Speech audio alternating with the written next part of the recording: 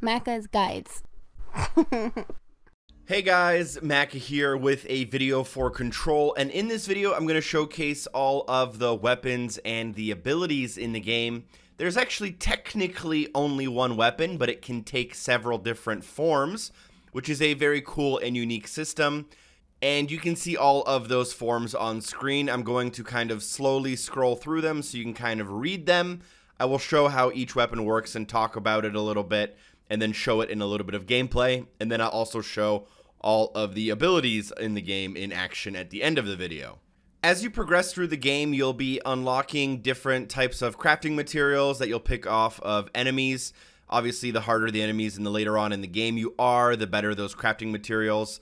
You can then use those materials and the currency, which is known as source, in order to buy these new weapons or buy upgrades for the weapons you already have.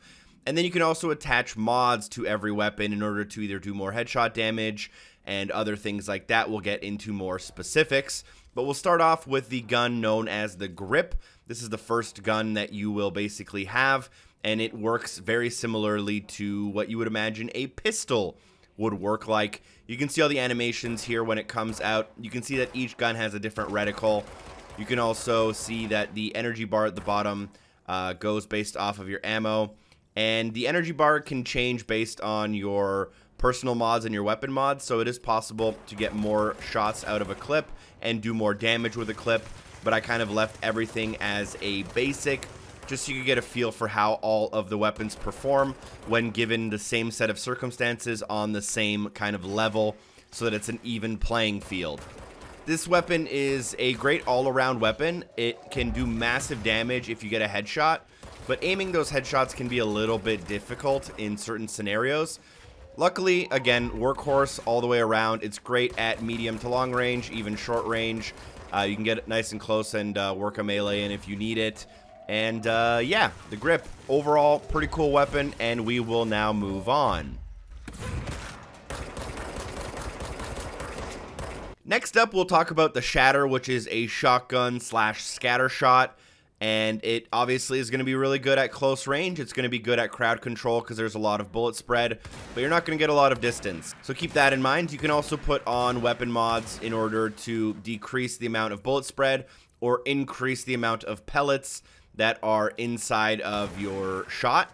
So you can kind of uh, do more damage that way as well.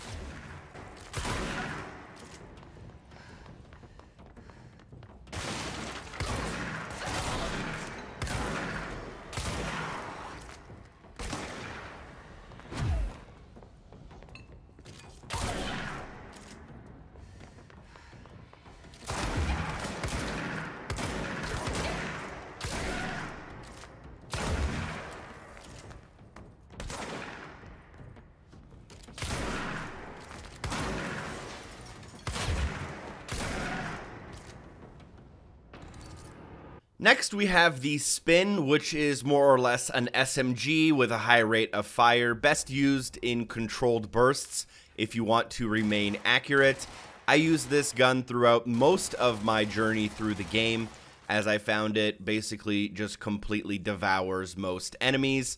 It also has the ability to put specific weapon mods onto it that allow you to increase the rate of fire Increasing the rate of fire is a double-edged sword. You'll kill enemies faster, but it'll also be a lot harder to aim with, so keep that in mind.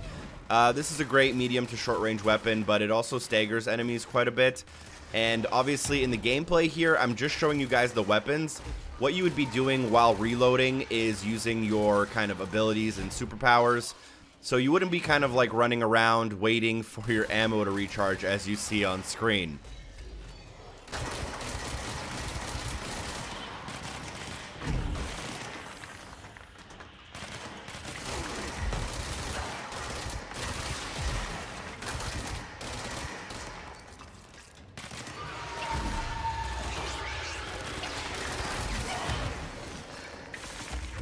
Next up, we have the Pierce weapon, which is a precise charged shot.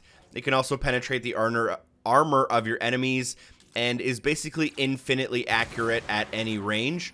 So if you're looking for long range, if you're looking to take down a boss with a lot of armor, if you're looking to do a lot of damage really quickly, this gun is incredibly useful at doing so.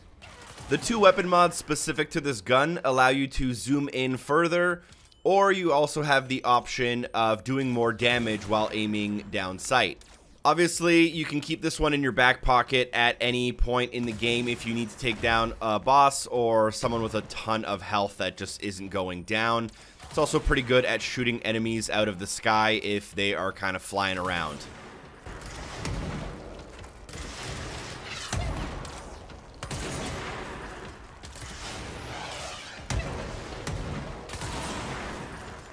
Final weapon you'll see here is called the Charge, and the Charge is basically a mini grenade launcher. And the weapon mod specific to this gun just allows you to have the projectile speed go faster. In theory, this weapon would be great, but I personally haven't found too many good uses for it.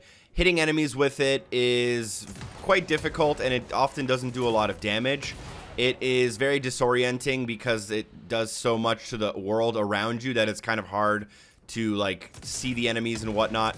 It's a very fun and cool weapon to use. I just don't know uh, if I've personally found out how to make it the best it can be.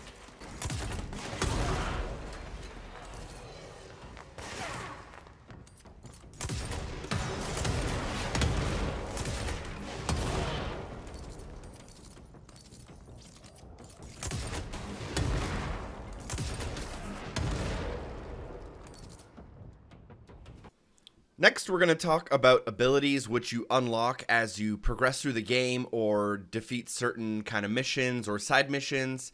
And there's also an ability tree you can go into and use ability points to upgrade your abilities in whatever way you deem fit. Obviously, you'll want to adjust your skill tree or ability tree to your play style. Alright, so next up we're going to go through abilities. The first ability you'll unlock in the game is Melee. This one works exactly how you would expect it.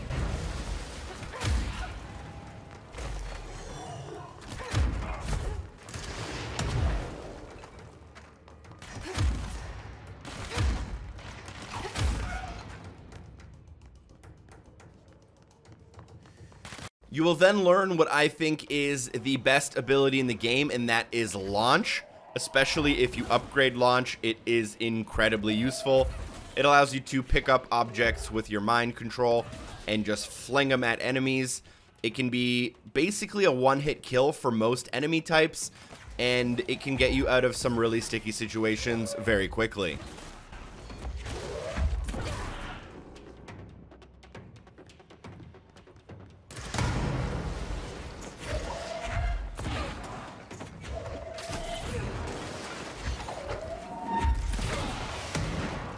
Another ability you'll unlock is Evade. This basically just allows you to dash.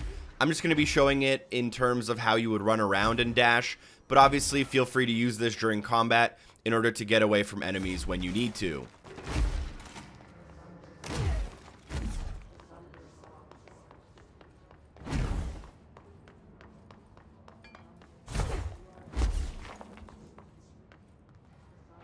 Another ability you can unlock is the shield ability, which allows you to pick up items and form a shield in front of you. I basically didn't use this ability at all. I don't really know why you'd want to use it. You end up just kind of, uh, you know, giving your back to any enemies behind you, and you're using your uh, ability meter anyways to pull up the shield, so why wouldn't you just use your ability meter for something more aggressive? But it's there if you want it.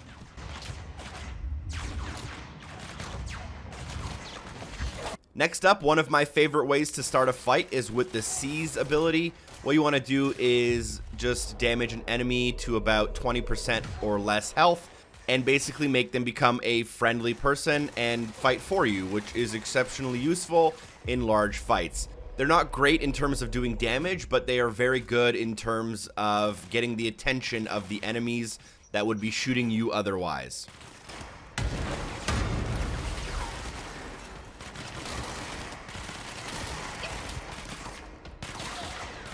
Last but not least is the ability to levitate. It is as it sounds. You can basically float. It's not a full flight, but you can kind of go up to a certain height and then float. You will only have a certain duration for this before you fall, and you can catch your fall by pressing A as you're falling to make sure you glide down slowly. Thank you guys so much for watching the video. I hope it was helpful. Make sure to comment, like, subscribe if you want to see more videos. Special thanks to everyone on Patreon for supporting the show. Shout out to Double O, and hopefully I see you guys in the next one. Peace.